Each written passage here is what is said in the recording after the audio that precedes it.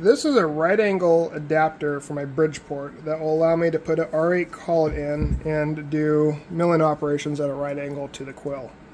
Problem is with this is that the bearings are shot in here. So it turns, but they're pretty rough. So what I'm intending on doing is pulling it apart and ordering some new bearings to reassemble it so it can be uh, operational again. Problem with that is I need a spanner wrench, a pin spanner wrench specifically, to get this cap off here. Pull out this screw, put two pins in here, and this should turn off. I don't have one of those, but what I do have is a chunk of steel I found in the scrap bin, which I believe this was an old miter gauge off of a table saw. And it's already been tapped over here for a 5 16 by 18 screw. So my plan is to go on this other side here, drill and tap this for the same size screw, and then cut it in the middle and put a hinging mechanism on here so this will fold in on itself. So I can get the right distance apart here. And then I'm going to take these two bolts here over the lathe. I'm going to uh, turn them down probably grind them in to get that perfect diameter so they'll fit in here nice snug fit so I don't wall out these holes. And I can hopefully get this off. The reason I want to do it with these is say I break these you just back them out put new ones in there. Um, and if these don't hold up, I can probably get a stronger steel. So I believe these are like a mild steel. This is a Harbor Freight set, so don't be surprised if these break off, but you can go out and get a higher grades uh, bolt and do the same thing, turn it down, and I'll give you a stronger pin. So first order operation, need to get our hole gauge here, We need to figure out what we're dealing with.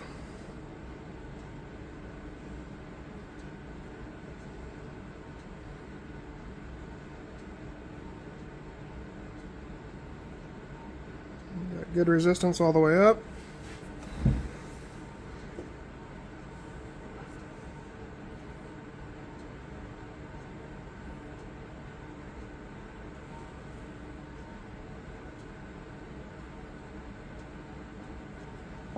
One thing to keep in mind that I just realized with this, let's bring this in close to the camera, see if you can see it. So you got a slit right down the middle. So if you're not measuring on a two furthest end pieces here, the parts are spreading apart, you'll get an incorrect measurement. So this is for people like me who are novices. If you've been doing this a while, you already understand this concept. But this is technically an oval shape right now. It's pushed out at this end and at this end. So you can get wrong measurement, pull in the camera here, this way, but if you turn it, then you get an accurate measurement. So this is coming in, I'm gonna say this is, I'm probably gonna make these at 140 and then I will slowly grind them down to get the right size to fit in here because I want this to be as tight of a fit as possible. The reason I want a tight fit with this is if these aren't tight and you have wiggle room in here, you will start wallowing out the hole, so making the hole wider at the top, and then you're probably never to get that um, cap off. So I'm to try to sneak up on it and get it in there as tight as possible. That way we don't damage it. So first let's go over the mill and build our bar.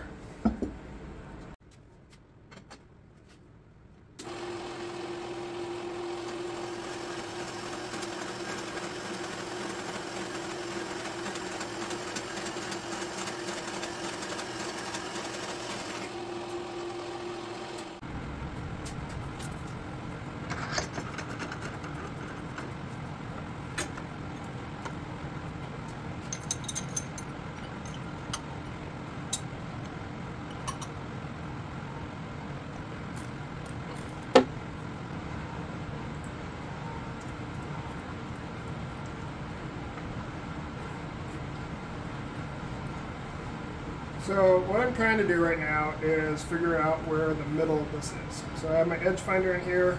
I get, yes, I'm probably supposed to put this in a collet, not the drill press chuck, but for this operation, it's not uber critical. I want to be within a couple thousandths, and the deviation of this drill chuck is going to give me, instead of a collet, because you're going to get more, um, for lack of a better term, wobble, or you'll be off a couple more thousandths in a chuck than you would be in a collet.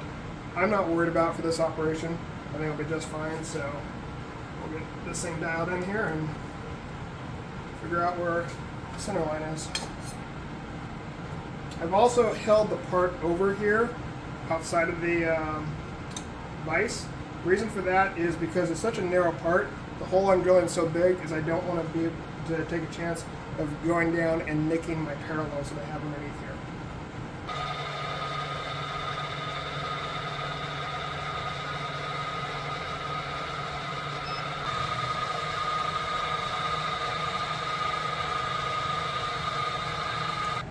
Showing you how I got the center of this part here made is I use this edge finder here. So I started on this side, found the edge, then I came up here, zeroed out my DRO, lifted the quill up, came over, found the edge on this side, and then back to the DRO, hit my X, then half, and then this is the number that comes up with. So this is how far over I need to move the table to put this right in the middle of this quill and that should give us a pretty accurate center line of this part.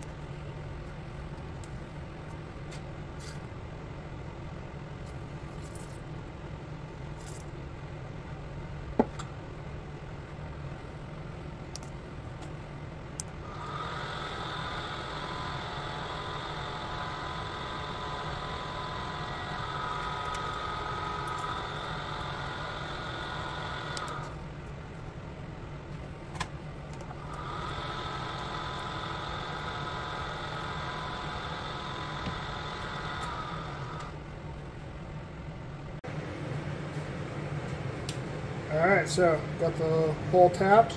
Now put a bolt in here, so it's holding these two same spot. Clamp, and I'm going to drill a hole on the other end here, and this will be the pivot point.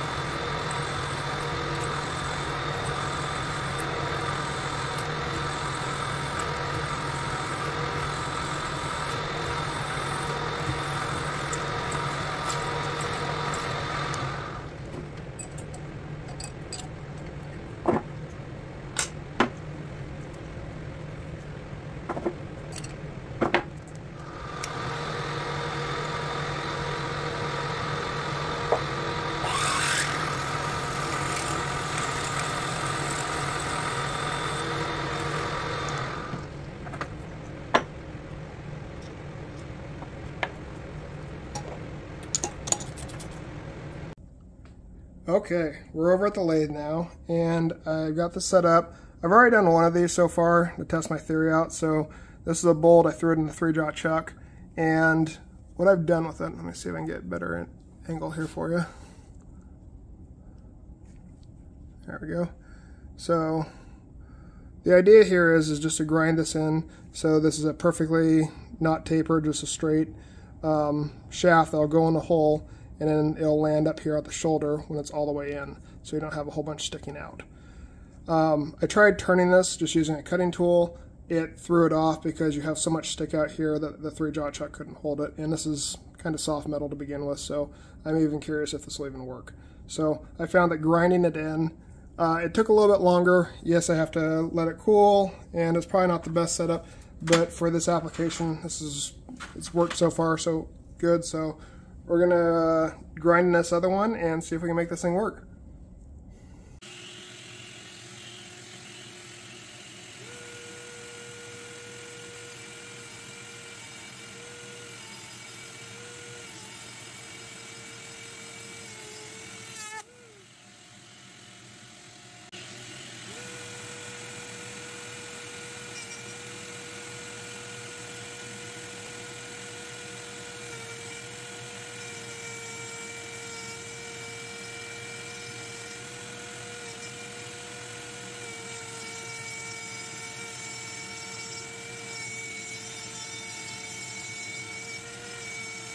Okay, so here's all our components that we need to make this spanner wrench. So these are the two arms. Here are the two pins. The pins will screw in the, right here to both the arms. And then the arms come back here to this hinge mechanism and we can adjust however big of a spread we need depending on how far apart the uh, holes are that we're trying to use this on.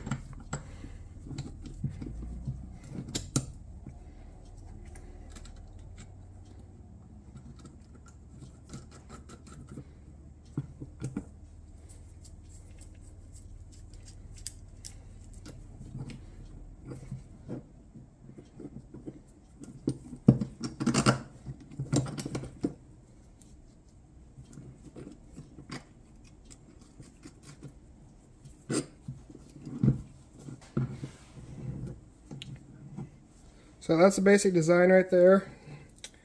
As far as the shoulders of these and the way I built them, I used the grinder on my lathe to try to give me a nice sharp shoulder here. I'm going to see if I can bring this into focus for you. So now that this is tightened down here, what you should see is when this pin goes into the hole, sorry it's not focusing just right,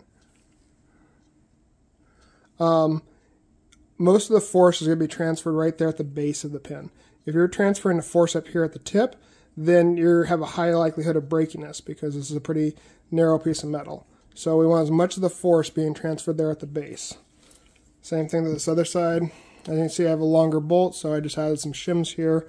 So it's tight in the threads. So it means it's when it's assembled in the arm here, it'll be nice and tight and it'll just leave enough of that shoulder exposed to be able to take the load. So there. Let's tighten down our hinge assembly here. We're ready to try this out.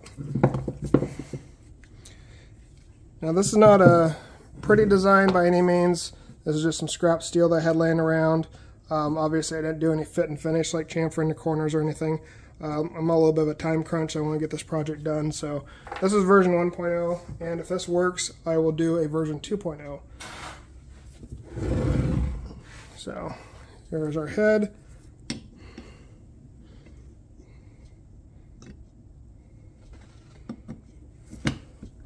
So those fit in there perfectly. Those are nice and snug in there. And so all I need to do is figure out a way to keep this from moving. So I could potentially put an R8 collet in there. I do not want to clamp onto the back here because I said there's two gears in here and they're at 90 degree angles to each other. So um, you don't want to put the amount of torque on this shaft here that's already required to take this off. Also, there is a screw here that we're going to have to remove too.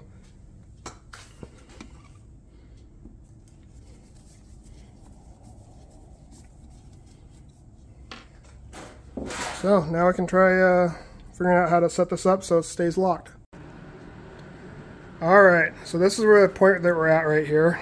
I have this thing, this is a drawbar that I built, so this is bigger than the thread here uh, that goes in, and this is this bigger portion here is up against a, I guess the a collar in here essentially, and then the threaded part goes into the collet, and then I have a three quarter inch collet, a piece of three quarter inch round bar. These are my soft jaws I have in here, so the soft jaws will deform against the uh, round stock here and hold it in place. I didn't want to use my serrated jaws because it would just tear up this piece of bar stock. So I've tightened this down with a pair of uh, vice grips, and so this is now one unit right here. And I was able to take, sorry, I'm to get this put on my tripod here so I can free up the other hand so you can see what I'm doing. So I was able to get the spanner wrench to go in here. And I used a lot of WD-40 and a lot of heat on this. So that would hopefully free up these threads that have not been opened in probably 60 plus years. So I did get this to pop off camera. I apologize I didn't have the camera rolling for that, but essentially I was just leaning on this really hard, putting a ton of pressure into it. Um, and then a design flaw that I just realized with my spanner wrench here is it rotates like this. So not the so just not a great design there. So I'm gonna have to fix that in the future. So I took a nut, put a nut here in the middle, and then that's the fulcrum point, and then that allows us to turn. So you see I got broken free. It took a ton of time with the propane torch and the WD-40, but that did break free. All right, so this went a lot better than I expected. Um, some design changes I'll probably make in the future. I would have only had one pivot point here versus a two because it causes this um, deforming action where in the future I might just weld one of these sides up here so you only have one part that pivots and the other part be stationary so say weld this side up here at 90 degree and then this be the only pivot point. Um, I like the design of this. Uh, it worked well. I can probably cut off the excess uh, part of the stock here. And having different size pins for different applications, uh, I really like this. So, you know, this is just a little bit of time at the bandsaw and some time at the mill to drill and tap some holes. And it worked. It was kind of a rush job, but you know, everything came together and I'm really surprised that these didn't break. So I put a ton of force on this thing. So, you know, that really exceeded my expectations. So maybe I'll do a version 2.0, make it give it a little bit better fit and finish. This is just, like I said, a kind of a rush job. And yeah, I'm really happy with how this came out. So hopefully this uh, gave you guys some ideas, maybe inspired you guys to get out there and make some projects in the shop. So thank you guys for watching. If you haven't already, please subscribe and uh, have a great day.